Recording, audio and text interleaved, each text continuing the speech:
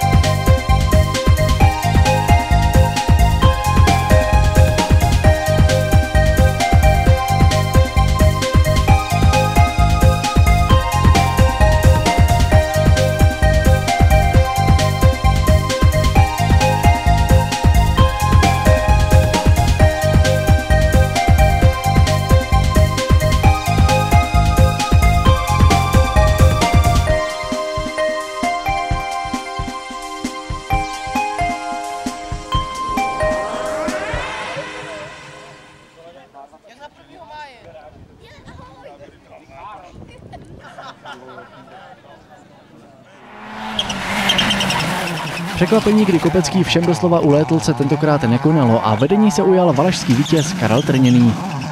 V součtu dosáhl na dvou večerních vložkách na okraji Hustopečí o necelé dvě vteřinky lepší čas, než jaký zajel Kopecký. Honza podal za volantem kitové Fabie opět skvělý výkon. Usadil se na druhém místě a opět ovládl skupinu A.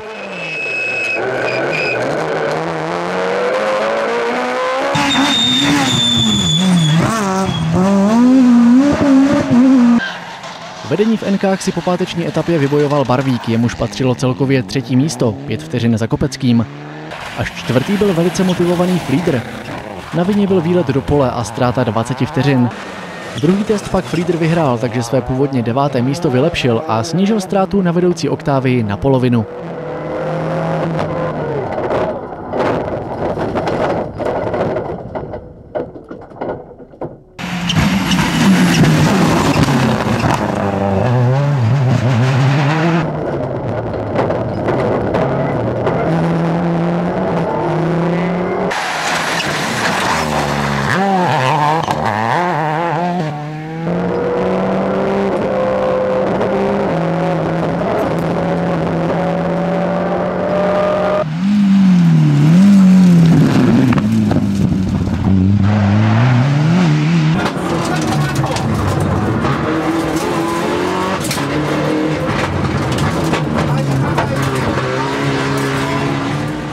Jiří Wolf před soutěží koupil Evo 9 od Jandíka a do závodu vstoupil volněji.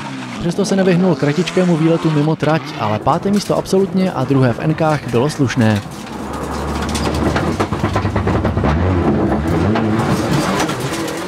Honcu Sikoru známe spíše s Ačkovou Felicií, ale před časem se už svezl se Semerádovou Evo 6.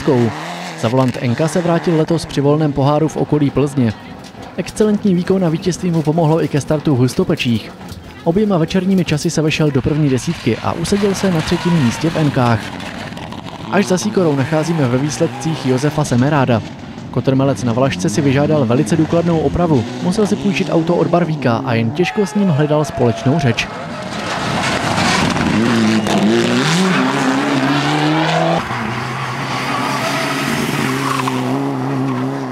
Poté, co na Valašce rozháněl Jelínek stádo srnek, potkala ho lovecká vložka i v Hustopečích.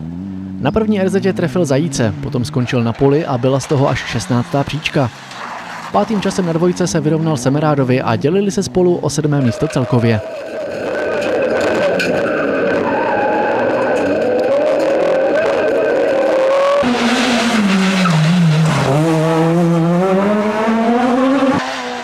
Druhou nejrychlejší dvoukolku vedl opět Peták. Penalizace za předčasný start ho celkově odsunula z páté na devátou příčku před Tošovského. Ten představil Evo devítku a měli bychom ho u nás letos výdat častěji.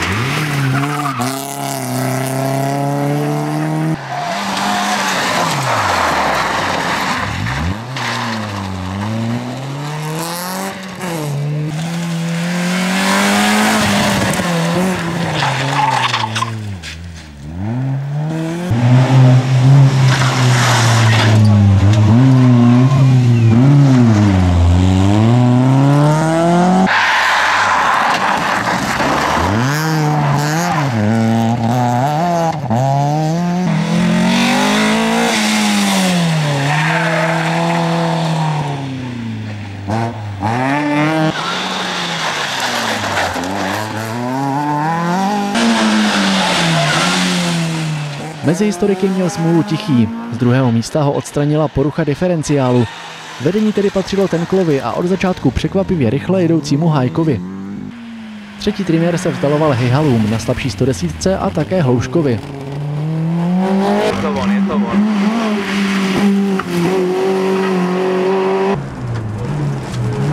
Levá jedna dlouhá. Přes horizont.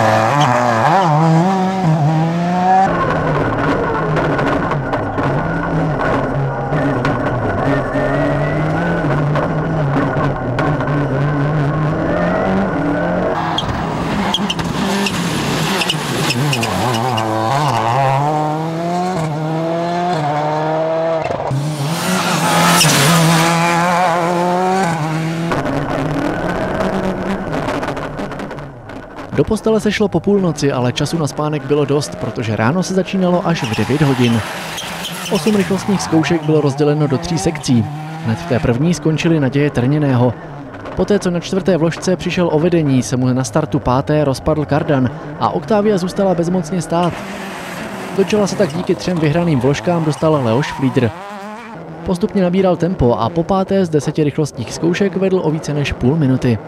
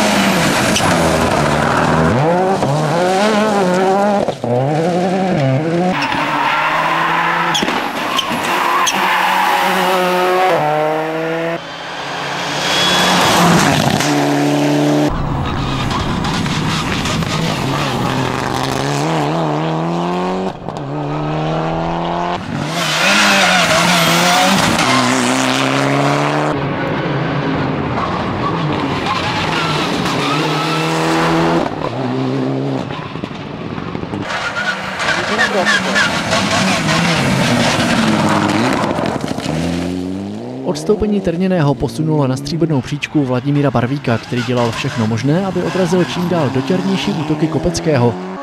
Ten hned ráno přišel o druhé místo, ale nikdy od něj nebyl příliš vzdálený.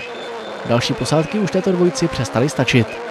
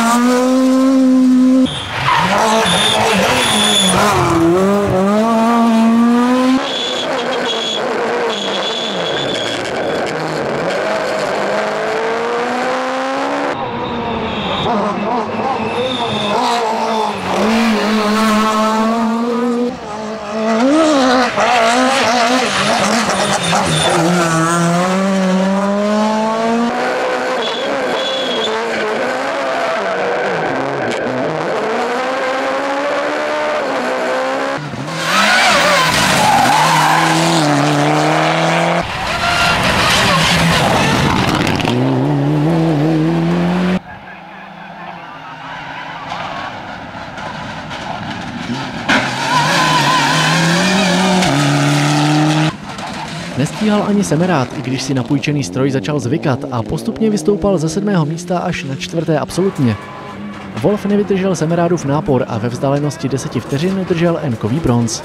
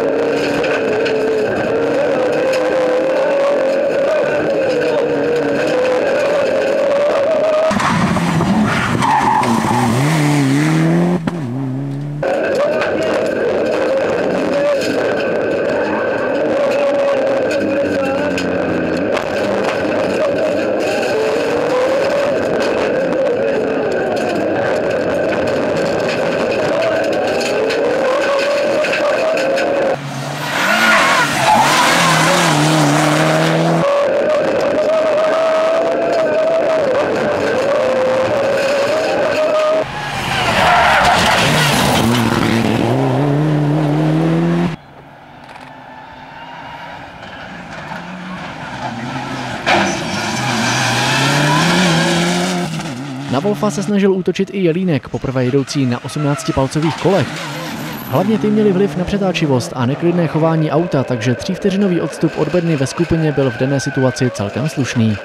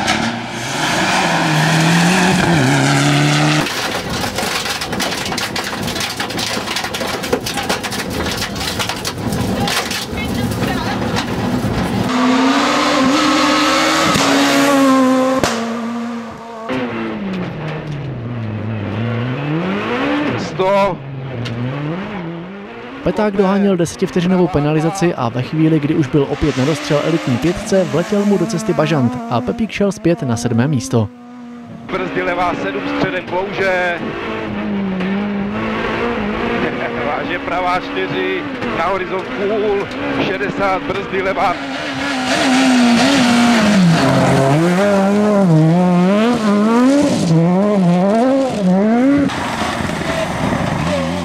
Po pátečním seznamování se s autem se pustil do pořádné jízdy i Zdeněk Vlček.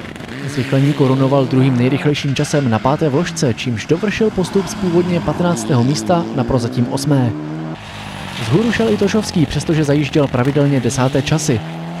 Neměl ale nic jisté, protože pomaličku ho stahoval Šláger, který se při svém třetím letošním startu těšil, že konečně dojede až do cíle, zvláště když se držel na druhém místě ve skupině S.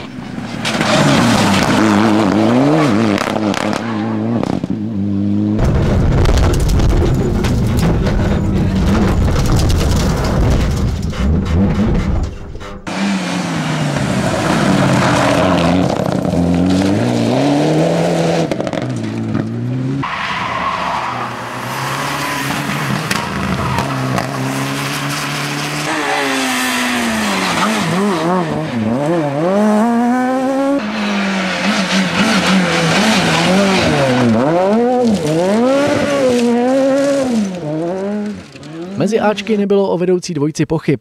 Kopecký měl minutový náskok před Petákem a ten pro změnu o dvě minuty unikal svému nejbližšímu pronásledovateli. Tím byl Jiří Loček, který dal vyniknout síle svého francouzského lvíčka a po kručcích se vzdaloval Tomkovi. Ten se po nočních chybách už více věnoval jízdě vpřed a posunul se před pondělíčka na srovnatelném stroji. Pondělíček sice neubránil skvělou medailovou pozici po nočních RZách, ale stále si ji udržoval na dohled. Čím dál více si na silný dvoulitr zvykal Pohner, loňský šampion nejnižší enkové třídy a z desátého místa se dostal na šesté. Sedmý byl lítr a pětek sedláček před pilkou a pletkou.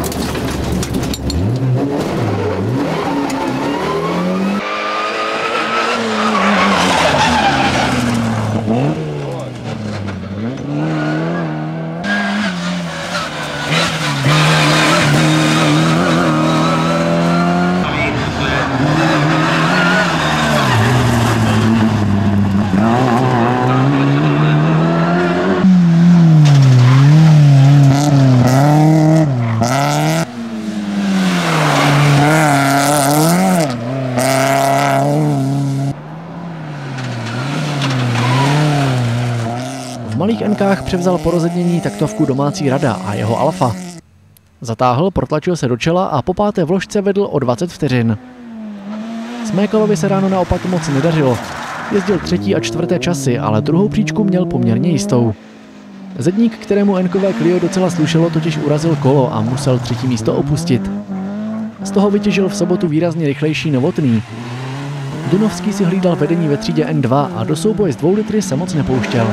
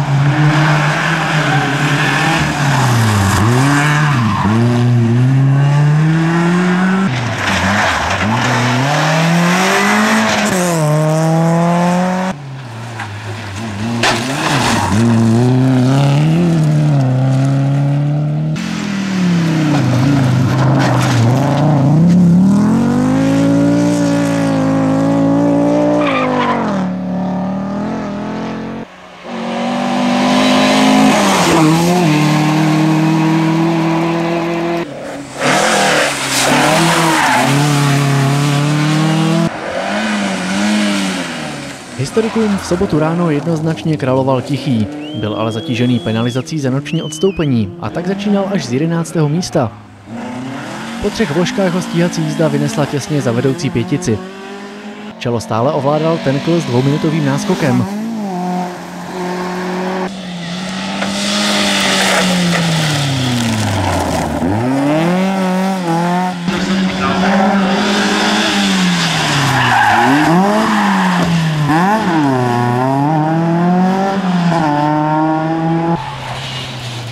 Problém s řemenicí alternátoru zdržel v servisu Hajka, dostal dvě minuty a na druhém místě se tak vynořil trenér.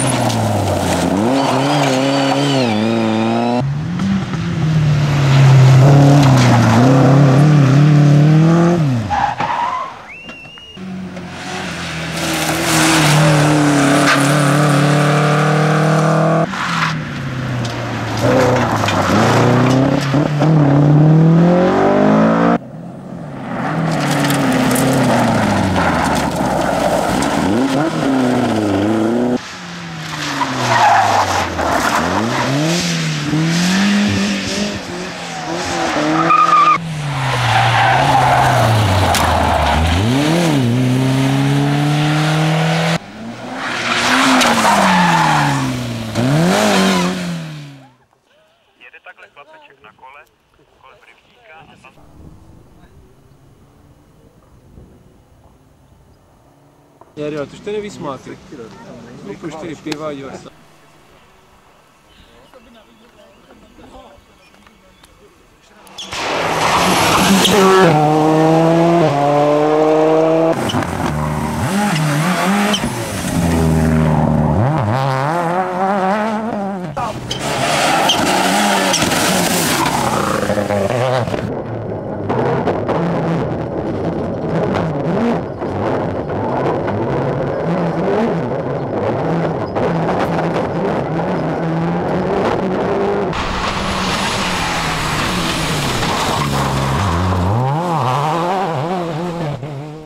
Zbývajících pět měřených úseků dokázal Fleeter bez větších problémů vyhrát a podle očekávání zvítězil.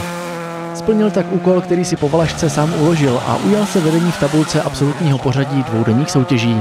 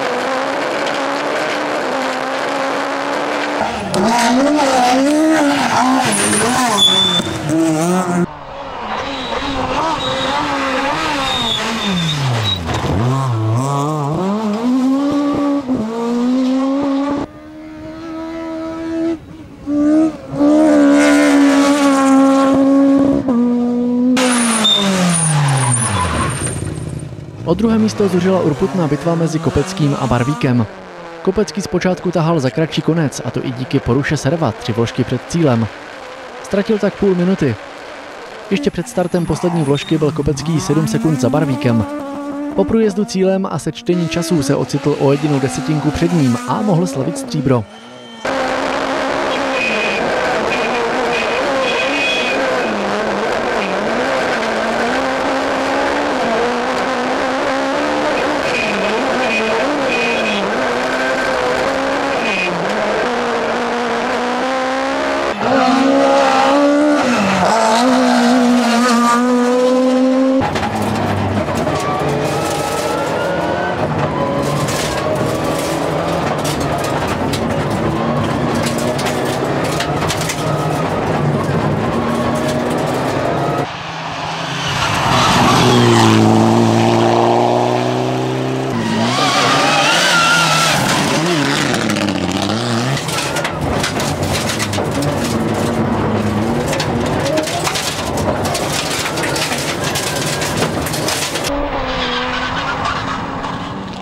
Barvík si zadělal na problémy na sedmé RZ, kde se nechal rozptýlit nízkoletícím modelem vrtulníku a přeslechl hlášení o horizontu a zatáčce za ním.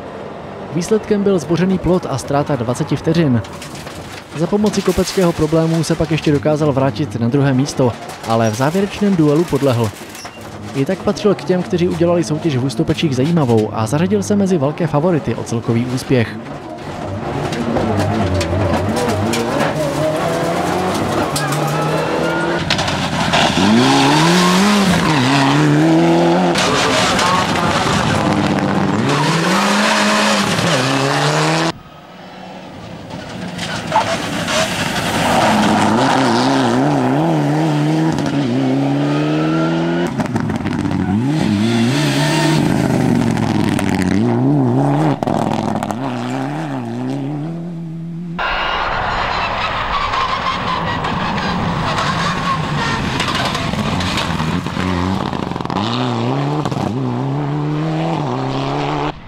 Pořadí na čtvrtém a pátém místě zůstalo stejné.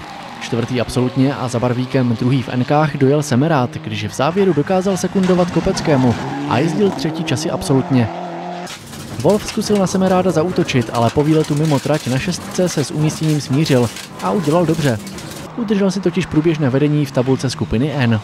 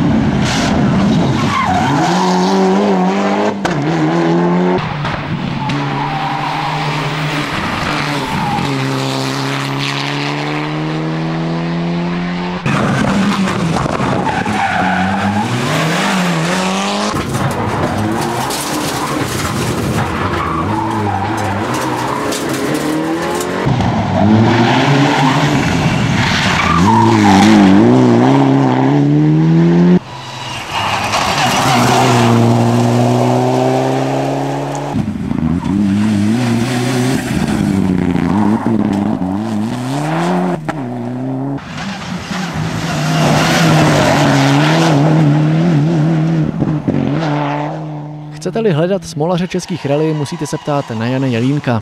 Jakoby nestačil zajíc, který ho zbrzdil v pátek. V sobotu, když už ztrátu téměř dohnal, přišel před startem RZ7 jeden defekt, nedaleko po startu druhý a samozřejmě nucené odstoupení.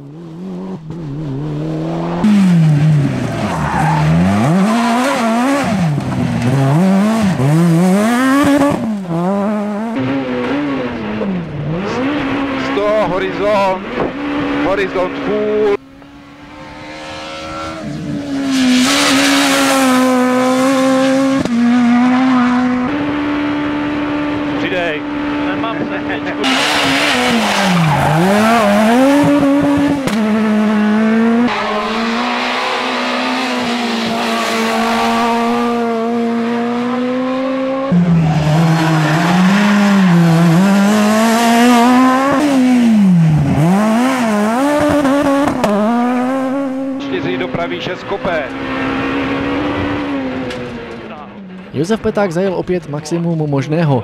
Nebýt penalizace a utkání s Bažantem byla jeho ztráta menší, ale takový je sport. Jen 7 vteřin za Petákem dojel Zdeněk Vlček. Novou devítku už zřejmě dostal do ruky a dokázal to dvěma výsledky, kdy rychlejší byl jen Flieder z VRC.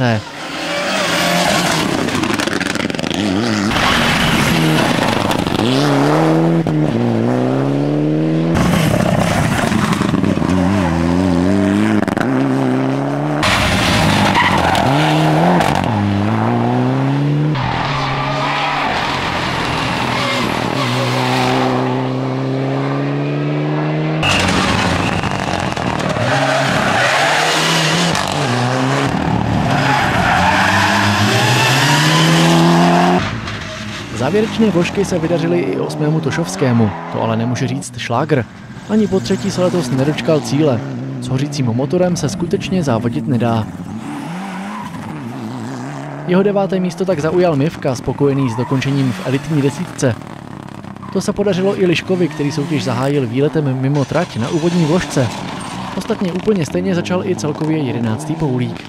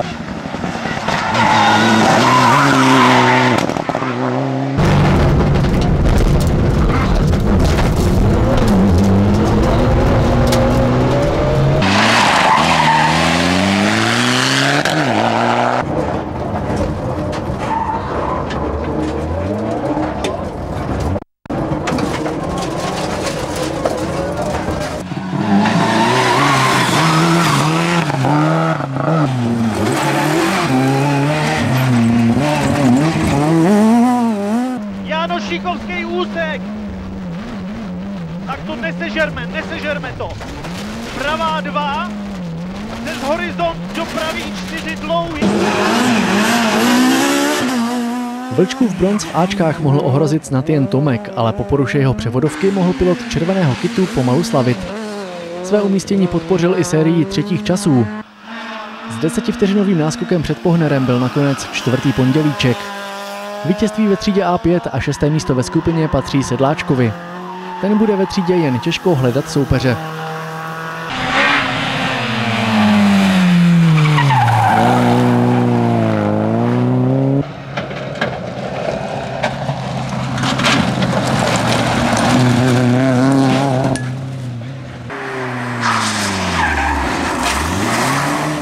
Viděli jsme i dva turbodýzly s Mandíkem a Padělou za volanty. Jejich veřejně vyhlášený interní souboj však skončil neslavně.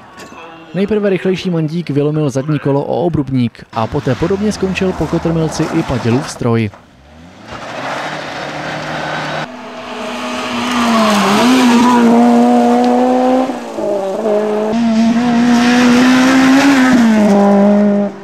Úvodní vložka druhé sobotní sekce se stala osudnou pro vedoucího radu. Prasklý čep nedovolil jeho Alfie zatočit a bylo po závodech. Své šance se tedy opět kopil smékal a už si ji nenechal uniknout. Výbornou soutěž zajel i druhý novotný a spokojený mohl být i Dunovský. Tomu se však asi stýská po napínavých soubojích se Šlehofrem z minulého roku a marně v N2 hledá rovnoceného soupeře. Vítěze nejslabší třídy bychom hledali také marně. Na startu se totiž neobjevila ani jedna posádka.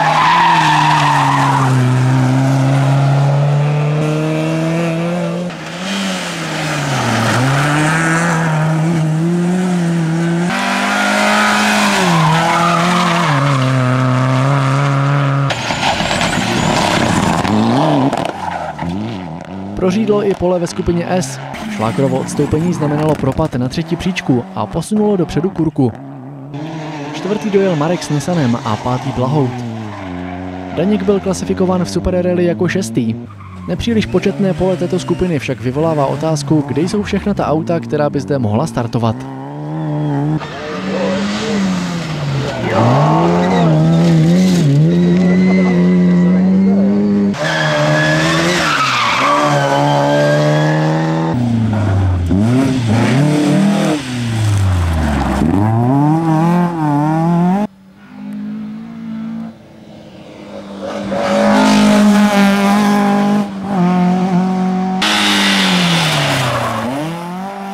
Závěr měla soutěž historiků. Za jasně vedoucím a nakonec i vítězným tenklem se v závěru hodně bojovalo o stříbro. Triner dělal, co mohl, aby odrazil nápor dvou dohánějících oplů, Hájka a Tichého, a nakonec se mu to také podařilo. Po vítězství na Valašce se trenér mohl radovat z druhého místa v Hustopečích.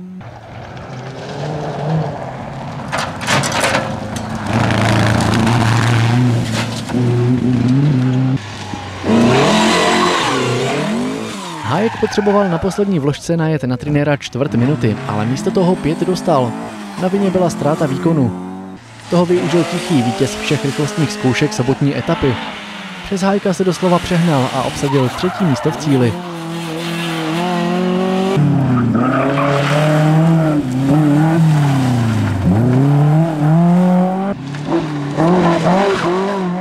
Pátý skončil Krejča, jemuž odpadl i další soupeř, protože Hejhal musel odstoupit. Šestý proto dojel Výmola, jehož tisícovka měla po střešní kombinaci poněkud nezvyklé tvary a na posádku docela foukalo.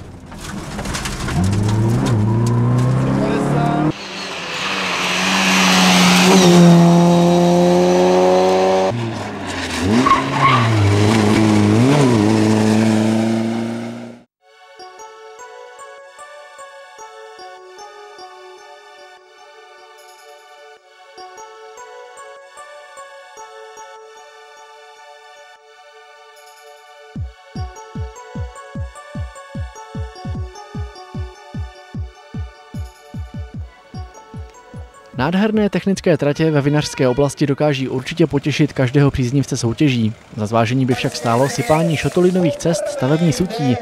Předešlo by se tak ničení aut a hlavně množství zcela zbytečných defektů, při kterých posádky nacházely v pneumatikách třeba 180 hřebíky. Na tratích bylo rovněž vidět, že se tu rally nepořádá pro diváky. Těm místy až směšné vytyčení diváckých zón v kombinaci s arrogantním chováním traťových komisařů a zejména místních hasičů hodně pokazilo náladu a dá se čekat, že mnoho z nich příští rok cestu na jejich Moravy důkladně zváží. A to je škoda, protože při možnostech, které zdejší kraj skýtá, by se tu dala připravit jedna z nejkrásnějších soutěží u nás.